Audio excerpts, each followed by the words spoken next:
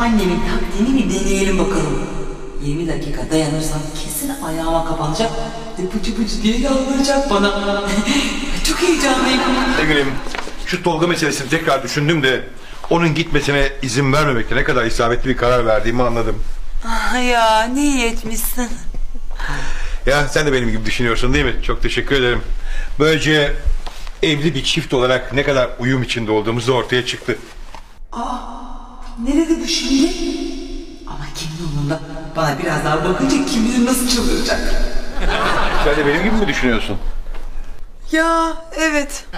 Ee, Rukiye'nin evine ne yaptınız bakalım? Gününüz nasıl geçti? Neler konuştunuz? Hiç ne yapalım? Havadan sudan konuştuk. Bir de bıcı bıcıdan.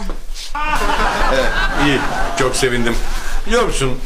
Rukiye'nin unutkan ama her yeni gün onun için yeni bir macera demek. Böylece sen de onun bu yaşadığı maceralara ortak oluyorsun ve hoşuna gidiyor değil mi? Neyse.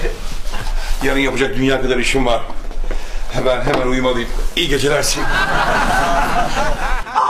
Ay inanamıyorum. Adam sırtını döndü yattı. Ay, ne yapacağım ben şimdi? Resmen kala kaldım iyi mi? Yok yok onu bilmem ama ben dayanamıyorum.